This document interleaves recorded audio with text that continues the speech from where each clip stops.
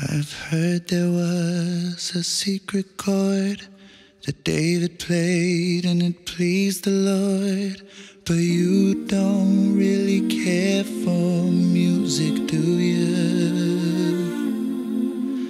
Well, it goes like this the fourth, the fifth, the minor fall, the major lift, the baffled king composing hallelujah.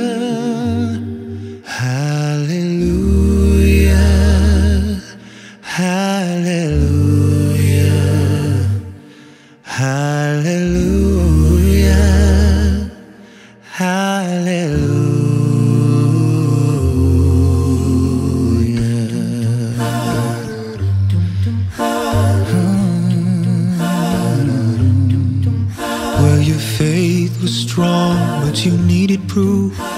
You saw her bathing on the roof, her beauty in the moonlight overthrew you. She tied you to the kitchen chair. She broke your throne and she cut your hair.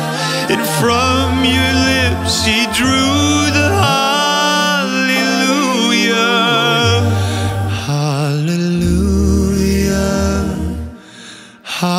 Hallelujah.